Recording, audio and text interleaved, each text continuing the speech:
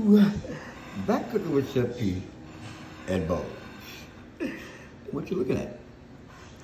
Is those hearts of romaine. Uh, that's stuffed with my very own cherry chicken salad by Chef and Bones.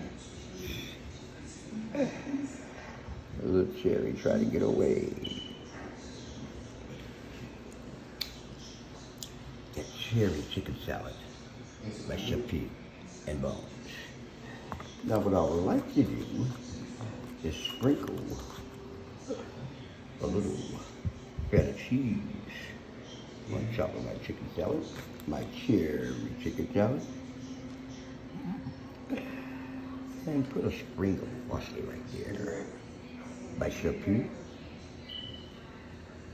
and Bones with that cherry creamy chicken salad. Bye bone, Bones in a bucket,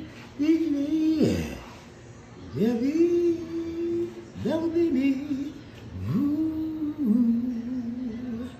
cherry chicken salad. Bones.